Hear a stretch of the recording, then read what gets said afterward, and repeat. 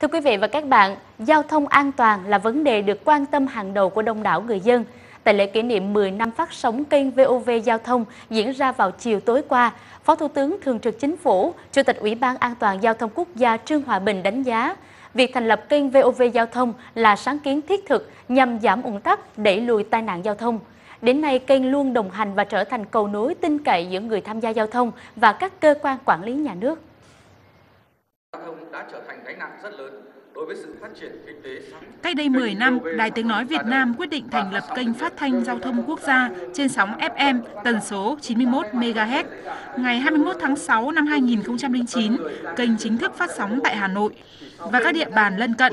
Chỉ sau 6 tháng, kênh tiếp tục được triển khai tại thành phố Hồ Chí Minh. 7 năm sau, một phiên bản mới của kênh VOV Giao thông được phát sóng tại đồng bằng sông Cửu Long với tên gọi Mekong FM.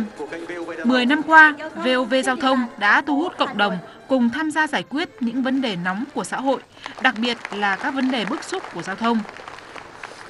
Phát biểu tại buổi lễ, Phó Thủ tướng Trương Hòa Bình khẳng định, kênh truyền thông chuyên biệt số 1 về giao thông là sáng kiến thiết thực, góp phần giảm ùn tắc, phục vụ người tham gia giao thông cũng như các cơ quan quản lý điều hành giao thông.